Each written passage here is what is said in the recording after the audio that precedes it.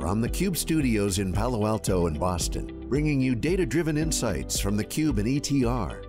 This is Breaking Analysis with Dave Vellante. MIT professor and economist Erik Brynjolfsson said recently that he'd be disappointed if AI didn't lift the current anemic 1.2% productivity growth rate to 3% or even 4% or even higher. This would be a good thing for business and government as it could potentially help with the labor shortage, drive earnings growth, and increase tax revenues, which would ostensibly help address current debt levels. This is one of the promised impacts of AI. Now, while the hype surrounding Gen AI has narrowly propped up certain sectors of the market, like for instance, AI startups, and of course the Magnificent Seven, the macro effects have not been felt thus far as adoption remains largely experimental. Hello and welcome to this week's Cube Insights powered by ETR. In this breaking analysis and ahead of SuperCloud 4, ETR's Erik Bradley and Daren Brabham join me to share the latest trends on AI adoption, how Gen AI is being used, some of the deployment models, and the AI leaderboard based on spending momentum and presence in the market from ETR surveys. Gentlemen, thanks for taking some time. Good to see you. Thank Good you so much for having us, Dave. All right, you bet. Okay, first let's look at the enterprise IT market broadly and the impact AI spending is having on other sectors. This graphic shows the dozens of sectors tracked in the ETR Technology Spending Intentions Survey, T TSIS, TSIS. I think there's almost 30 sectors. It shows net score or spending momentum on the vertical axis and presence or sector pervasion on the horizontal plane. The red dotted line at 40% indicates a highly elevated spend velocity within a sector and note that squiggly line on the ML AI sector. So as we exited the isolation economy, AI momentum decelerated along with overall IT spending. But look at what happened the month after ChatGPT was announced. ML AI has now taken over as the number one sector in terms of spend momentum. Now the rub is, as we said in our research note, lower for longer, for the past two years, overall enterprise tech spending expectations have decelerated from a high of 7.5% growth expectations to the current 2.9% level in the macro drill down surveys that ETR does. The issue being that CFOs and CEOs are generally not allocating discretionary spending for CIOs to go pursue AI. Rather, the trend appears to be AI initiatives are stealing budget from other sectors, many of which are being de-emphasized as AI experiments are funded. So with that as intro, Erik, Daren, what's your take on the macro spending environment and the impact of AI? I think, Erik, you're going to take this one. Yeah, I'll jump on this one first. Um, there's a bunch of data points here I want to add to that. One, yes, we are growing our sectors. We actually just added fintech, so we're continuing our coverage growth and we'll continue to do so as we need to.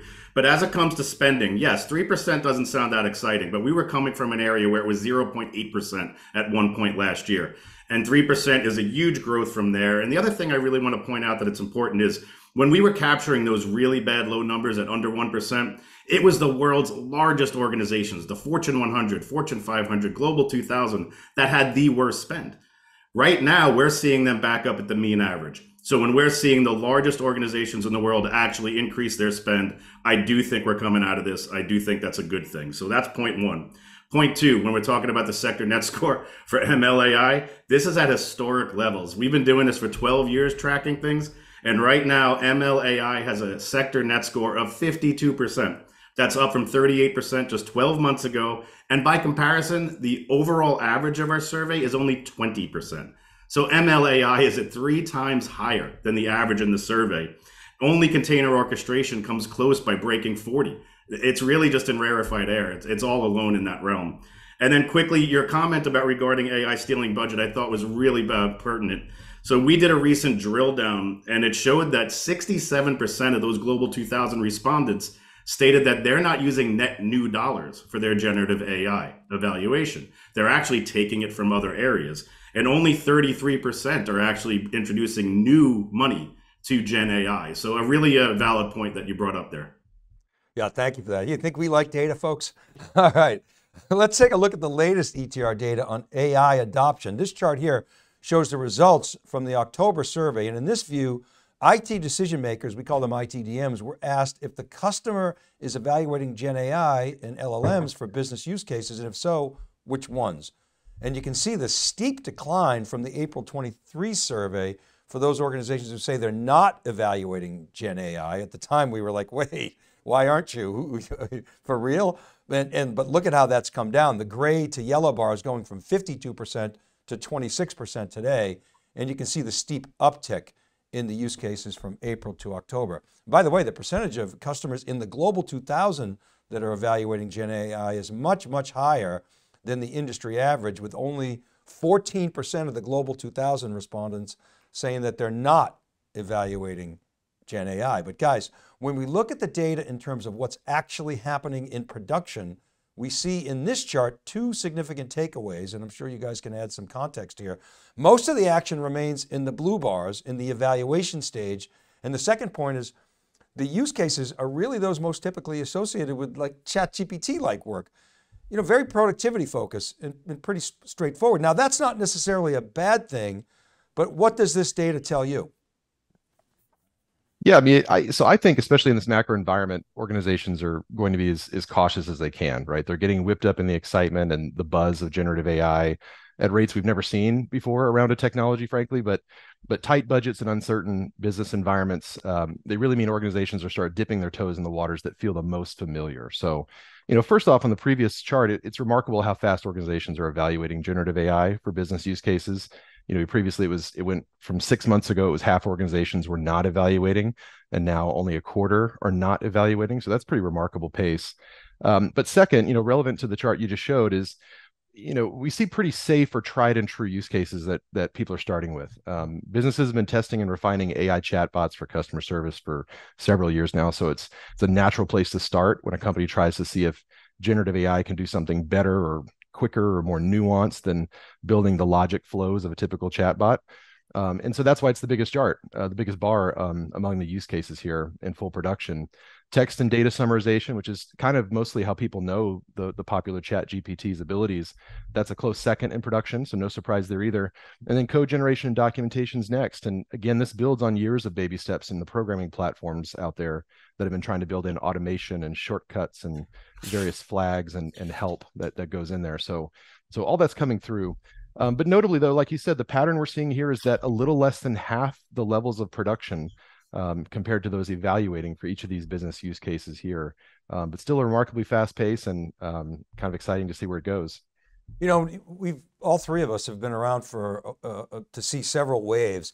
It does feel, to to your point, like the the acceleration of adoption for Gen AI is somewhat in line with the hype. I mean, nothing's ever really in line with the hype, if you guys know what I mean by that. But but the, there there definitely appears to be a lot of leaning in, maybe earlier on than say other cycles where you know we were amazed by the web browser. There were a lot of tire kickers in the cloud, uh, but this one really seems to be much more broad based. Do you guys agree with that?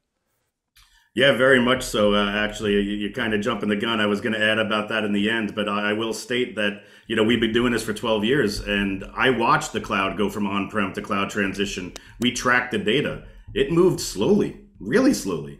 This is not moving slowly. This is at an astronomical pace. And I'll actually leave a little bit left for, for later to kind of talk about maybe some of the numbers there. But I completely agree with you. Um, we'll see. There's still a lot left to go, uh, as we're going to get into. But yes, I agree with that comment that this is certainly living up to the hype more so than other hype cycles have in the past, and certainly moving faster than trends we've tracked data wise previously. And of course, there's still a lot of uncertainty out there. And So at this point, I'd like to introduce the, the power law for Gen AI that the Cube research team put together uh, a while back. And we've shared this before, but the graphic takes the power law framework, that concept, and applies it to Gen AI. The vertical axis we, we use to represent size of the LLM, and the x-axis speaks to the model specificity, the domain specificity. So the orange line takes an example from the historical music industry where Four music labels, Universal, Warner, Sony, and EMI, had nearly 90% of the market, and hence that hard right angle with a very long tail. And then if when you adapt this to Gen AI, you know, we project that the large you know, cloud companies, of course, along with NVIDIA and OpenAI, they're capturing a lot of the narrative today where consumer adoption, as you can see in that upper right-hand box, that insert, is driving volume, and that's always what drives industry economics. But there's other third party and open source models that are, we believe, pulling the torso shown by those red arrows up uh, to smooth out the curve. And then, like many industries, we expect a very long tail of domain-specific AI within various industry sectors. And then we take this out to the telco industry and the edge, which we think is where much of the AI inference is going to occur on very attractive power per watt platforms like ARM system on chips. So I'm going to stop there, guys. And we're going to dig into the ETR data to see if there's any evidence that this model is taking shape. But let me get your thoughts on this, if I may. Yeah, and I think I think you've done a this is a really great uh, graphic your analysts have put together. I think it it really captures you know kind of a a rhythm or a or a, a curve of innovation or or the way things kind of play out as new technologies come into the market. You you do have the big players that kind of are dominating a lot of the headspace, but also you know taking on a lot of it, and then um, the the long tail that goes out there in the niche use cases. So, you know, I think you're you're right on point with this, and um, you know, I think if to pivot a bit, I, I sort of wonder what what's it going to take to get there for many organizations to start doing this, and I think uh, one of the things that stands out in some of our data, we, we did ask organizations what what's the what's the holdup or what's the what's the thing you're going to do in your data and analytics pipeline to make to get ready for generative AI. Um, and I think that speaks volumes to to maybe the pace of how organizations are going to get there and, and the kinds of tools they're going to use. The number one answer is you know improve data quality. That it's it's a back to basics, right? It's um, you know these these large language models they only work as well as as the stuff they're drawing from. So if your data is not clean, it's not organized, it's not in a good data warehouse or data lake, it's not findable, it doesn't make sense, then then things don't really get off the ground in in, in a very good way. So I, I think we're going to see is is on the on the the back tail of this this hype um, is going to come a, a reckoning with you know how how good is our how how well kept is our house? And are we going to going to be able to get back our our data quality and our organization to, to really power some of these use cases? So i think it's sort of a related point and and i know erik you've been thinking a lot about this in, in security too yeah, you know that that's true, Daren, and I, I agree with all your points. But uh, first of all, no offense to you know Stanley Smith Stevens, I'm no expert on power law models, but I do agree that that's a pretty neat chart you guys came up with. But my understanding of the theory is that it's really about exponential exponential relationships of two measures and how they impact each other. And one of the areas where I see that happening that actually contradicts the the image there about needing an economic use case for AI is within security, as Daren mentioned. Uh, and, and, the reason I say that is because right now the top priority amongst all CIOs is still security, and it should be. Uh, we're living through cyber warfare on a daily basis. It's happening right now, and um, bad actors are using Gen AI, and we need to do, do it as well to protect our you know precious infrastructure, whether it's utilities, energy, healthcare, banking systems. Um, we have no choice. So I do believe that within security, you might see one of the first full fledged Gen AI in production. And we could go on forever and ever and ever about what vendors or how that's going to happen, but I'll save that for this time. But uh, I do think that we might not have to see an automatic economic ROI driver in order for this to happen. I think it's going to happen inherently anyway. It's interesting. I was at the CrowdStrike Falcon conference earlier uh, uh, this year, last month actually in September, and they were actually showing what is very close to being, you know, shipped, a large language model to change the SOC analyst experience. So they're one of the first to actually, you know, be close to shipping, and I think they actually will be shipping this quarter. Um, and so I think you're right. Security is a very narrow but logical use case for for Gen AI and LLMs. And you know, pursuant to that previous conversation that that we were having um, in, in terms of sort of that long tail. And, and there's, a, there's a lot of discussion in the community about where the AI work is going to take place. Now, interestingly, when you ask those still in production, what's holding them back from getting there, as you guys know, the number one answer is we're still in the evaluation phase, but the, the two big ones beyond this are data privacy and security concerns and compliance and legal concerns. The point is there are many people who feel that because of these issues and concerns about IP leakage, that much of this work will occur on private infrastructure. This is from an earlier drill down study that ETR did. Note the smaller ends here, but it's still instructive. ETR asked customers, do they use public or private infrastructure for Gen AI workloads? And the data is very clear. It's literally a 50 50 mix. And again, when you look at the data in Global 2000, it's much more weighted toward private, with the first two bars jumping up to 42% and the third dropping to 18%. Again, small ends. It was only, I think, 17 in the Global 2000 in this drill down, but it's still an interesting data point. Now, when you look at the leaderboard from the ETR data, it's dominated by the big three clouds and, of course, OpenAI. This is a similar XY graph with net score or spending momentum on the vertical axis and pervasiveness in the data set on the horizontal. Note the position of OpenAI in the upper right. It's shot out of nowhere and is a dominant force today. I'm sure you guys will comment on that. But then the big three clouds, what's notable here is their respective positions and change in that position. You can see it at the squiggly lines relative to the announcement of ChatGPT. Microsoft shot to the momentum lead with its OpenAI partnership. AWS, which has always been a player in AI with tools like SageMaker, lost ground on the X axis, and Google, with things like Vertex AI and Bard and other tools, gained ground on both the X and the Y axes. And you can also see Databricks in the mix above that 40% line as they've always been an, an ML leader. And Anthropic came out of nowhere.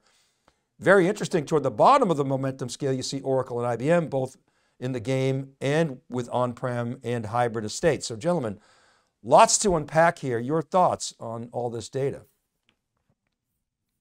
Yeah, there's a lot to unpack here. I'm going to go off script for a second because I think it's really interesting when you showed those vendor trends. And, and uh, a couple of names, again, Anthropic just jumped out of the gates, right? We're seeing that at 50%. OpenAI, when we first started tracking it in the ETS, it broke records. The evaluation rates were absolutely through the roof. We transferred it over here to the larger survey, and again, it is by far the highest we've ever captured.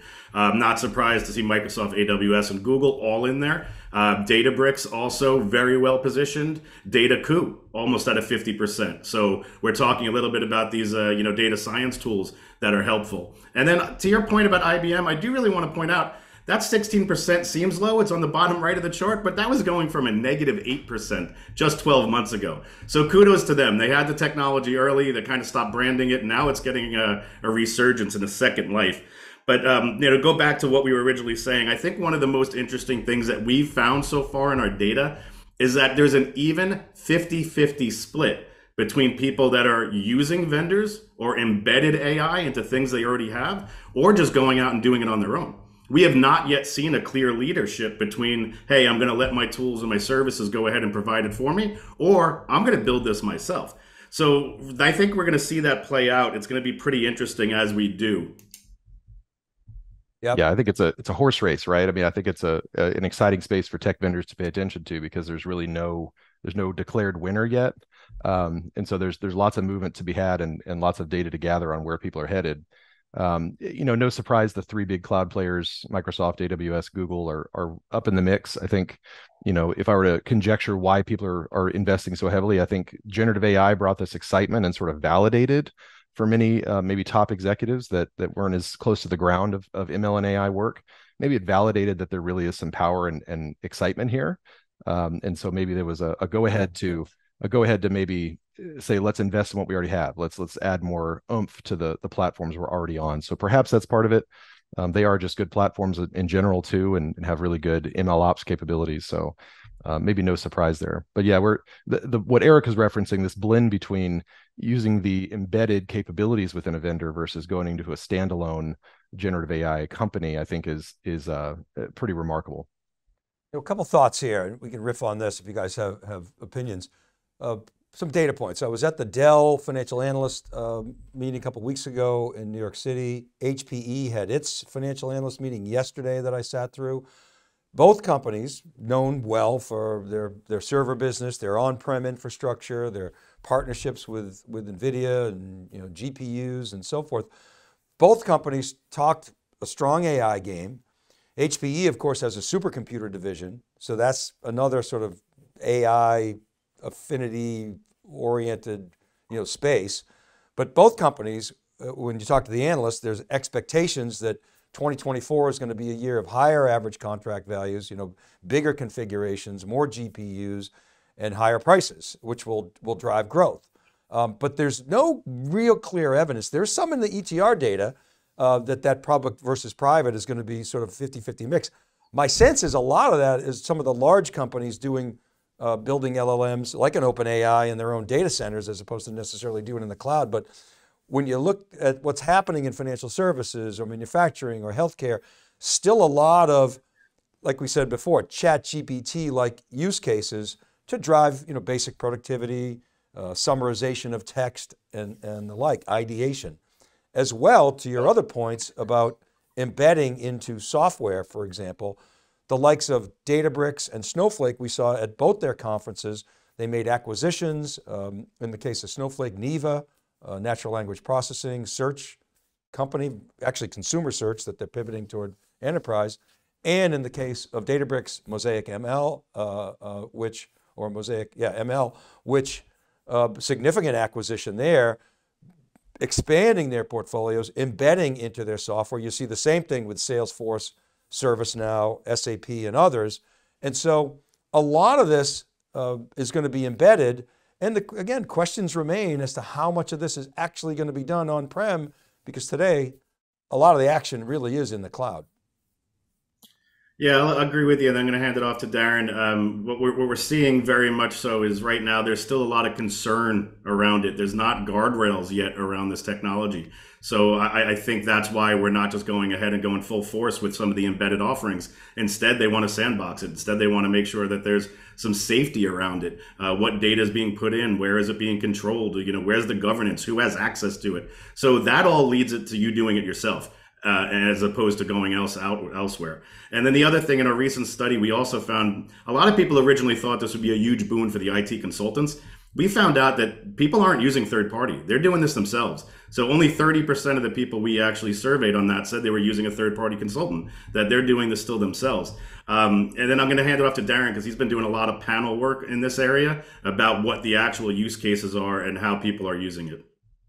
Yeah, and, and just to, to tail in on that, um, you know, I, I, a lot of people are really concerned about the the security issues and the privacy issues, and so sometimes sandboxing is one approach. Maybe another approach is is let's go with a, a vendor we trust that's that's rolling these these capabilities out. So um, I think it's kind of a different you know different mentality or sentiment, but um, definitely see a lot of organizations doing this kind of sandboxing or or skunk works or innovation labs or whatever you want to do it to to dip their toe in the water you know, on this idea of, of embedded capabilities, one of the things we found in a, we did a whole panel on generative AI and really focused on uh, Microsoft Copilot and, and GitHub Copilot, kind of this this product that was widely announced and um, had a had a fairly hefty price tag attached to it if you think about it per license. Um, one of the things that came up, people really aren't batting an eye at the cost. You know, they they say if it can save us um, even a few hours of time a month, it's worth it, right? So there's there, there's sort of an appetite to spend on these things if they can really prove their worth. Um, and I think that's that's sort of the dollar signs that a lot of these big vendors have in their eyes about why they're embedding these capabilities. Um, and so I think we're going to see, you know, it'll be interesting to see where the where it tips. Is it going to be more of a independent or more embedded? It's kind of exciting to watch. Great, thank you. All right, let's end with some closing remarks. I'm going to set it up here and then ask you to both to comment. I think you've also got some other data that you want to share. You know, the whole focus on ROI, this is interesting based on some of the things you said. I mean, IT budgets aren't growing um, despite the fact that they are, you know, growing from the, the basically the flat, but still they're really not uh, consistently back to where, uh, you know, sort of pandemic levels for sure, and even pre-pandemic levels, but, but they are stabilizing. But at any rate, the point I'm making here, and I wonder if you guys agree, is enterprises are going to have to show value or these AI projects are going to be cut. I think, Erik, you were intimating that, you know, maybe that's not the case because people realize this is such a transformative and important area. But I really do feel like people are going to have to find their way and sink their teeth into this, or CFOs are going to start, you know, questioning these investments. So the productivity numbers at the macro are going to be, you know, key to these fulfilled promises uh, of, of AI. And I think Right now, all the action seems to be in the cloud, notwithstanding, I'm glad you made that point, Erik, about IBM really bouncing off, off their lows. Uh, we are still watching for meaningful on-prem adoption. I do think it's going to happen. The reason I think that is because people are bringing AI to the data and there's a lot of data that's still on-prem. Competitive landscape is evolving, but those sands are shifting. The trends you know, still favor Microsoft, OpenAI, uh, and, and these embedded software opportunities that we've been talking about, Snowflake, Databricks, Salesforce, SAP, that should drive demand in 2024. And you know, the promise of the rising tide of AI lifting all boats. Um, right now, it's been relatively narrow, and you know, our forecasts start to show in Q4, we're going to start to see that have, have a meaningful, measurable anyway, impact. And of course, AI inferencing at the edge is something that we're watching. We think it's a, a wild card and could produce a very disruptive force from an economic standpoint with very low cost, you know, ARM systems at the edge uh, that a lot of people initially poo-pooed, but you're seeing it creep into the enterprise in the form of certainly AWS, the big cloud guys, of course Apple in its in its in its laptops, and of course in the mobile. But we think that that's the way these these big trends tend to happen. These big shifts as they start in consumer, and then volume economics kind of rule. So I'll leave it there and ask uh, so Daren and Erik for your final thoughts to close us out. Yeah, I'm going to start at a macro level and hand it off to Dr. Brabham. He's a little bit smarter than me to take us on home. So, uh, quickly, uh, a couple of points. First, about the CFO and the investment side. Listen, at the end of the day, it's all about money. Of course, your CFO is going to need justification of what you're spending. But what our data is telling us right now is that people aren't spending new money that AI is going to be able to pay for itself. It's going to be able to take, you know, share or budget from other places and bring it to it. It's going to create savings, whether that's at full-time employee or whether that's just at the amount of hours it takes to do repetitive tasks. So um, I don't worry about that that much right now. And the horse is already out of the gate. I don't see too many CFOs sticking their neck out saying, no, sorry, you can't use Gen AI to try to keep up with our market. So I'm a little less concerned about that for now. Um, and then the other point about you know real time use cases, the edge, real time streaming data is happening right now, right? And we're already asking people about what their number one use cases are for Gen AI, and they're answering client facing, they're answering customer support and chat. They're answering call center technology. So they're talking about things that are happening in real time. And that's really where, you know, that edge streaming analytics is happening. And I, I certainly see Gen AI moving out to the edge for that. Uh, the, the faster you can do it, the faster you can kind of utilize and support those transactions, the better. But from a higher level, I want to step back and state that I've never seen a technology in the 12 years I've been doing this move so incredibly quickly it was just November of last year, I think that, you know, they even came out and said, hey, ChatGPT's out there. Go check it out. It was March when it started making headlines in the journal and Forbes. We're talking about less than a year. And this is blowing up the data. It's everywhere, it's in every use case evaluation. I remember tracking the cloud for years, waiting for kind of workloads to really inch higher and higher and higher. Um, people ask us why we still track, you know, AT and T and Verizon in our survey. It's because we were doing on-prem back then because cloud wasn't a thing. So uh, I just want to iterate: I have never before seen anything move so fast from hype to evaluation to actual production, and I just think you know this is clearly here to stay. Excellent, thank you, uh, Daren. We'll let you bring us home, please. sure. Um, yeah, I've got two big thoughts here. I think with, that that really kind of get me excited about what what's happening with generative AI and and uh, get me excited to start asking good questions and capture data around it. Um, you know, one is is something we're starting to hear trickle in through some of our interviews with our IT decision makers and our, our ETR Insight series. Um, you know, here's one quote to kind of kick it off, and I'm paraphrasing: "Is the RPA players better watch their back, um, or they should be on notice?" Right. So the, I think what comes with this is generative AI is you know, in a way, could be a leapfrogging over some of these technologies that were designed to provide shortcuts or, or improve life.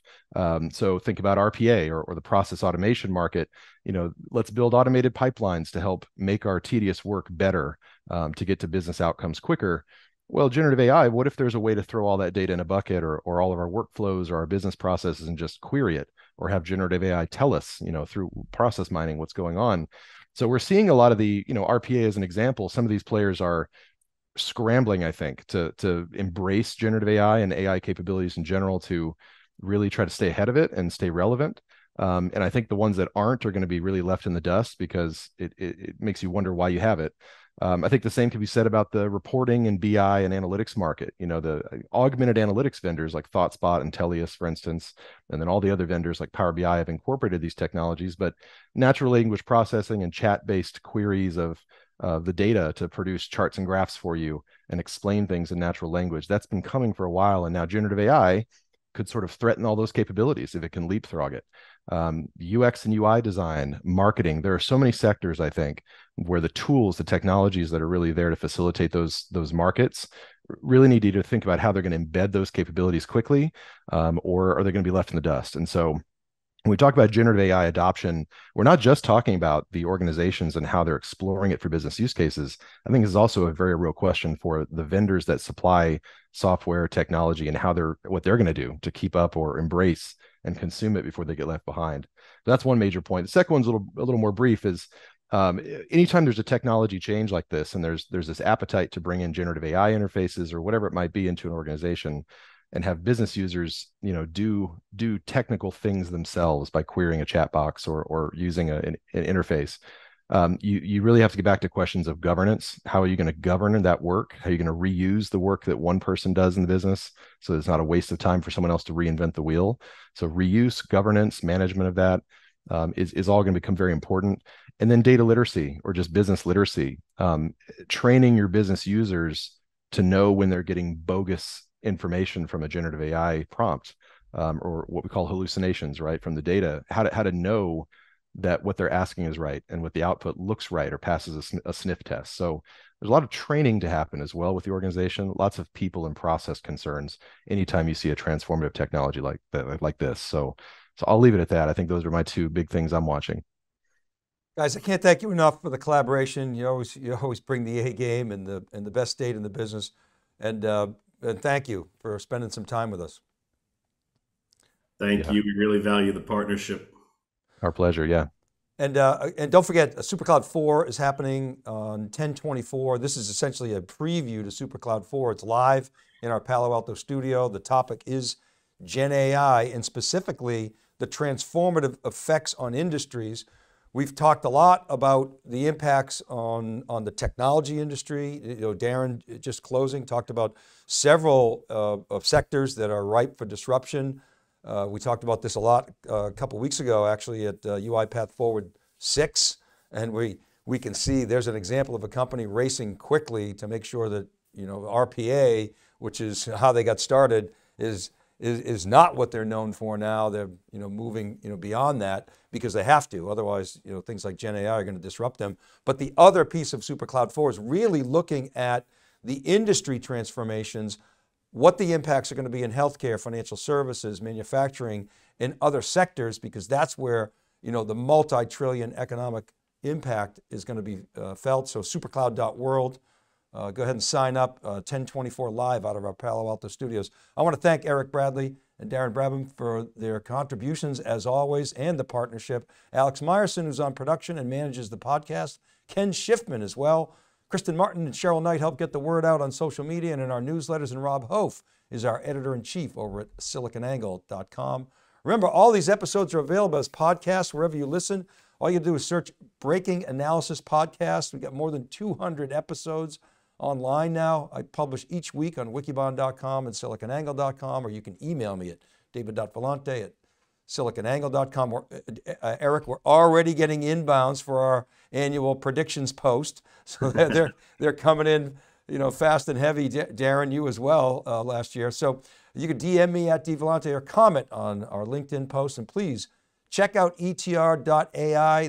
they keep expanding. I can't wait to get into some of that fintech data. I can't wait to get into the ETS, the Emerging Technology Survey, best survey data in the enterprise tech business. This is Dave Vellante for the Cube Insights powered by ETR. Thanks for watching, everybody, and we'll see you next time on Breaking Analysis.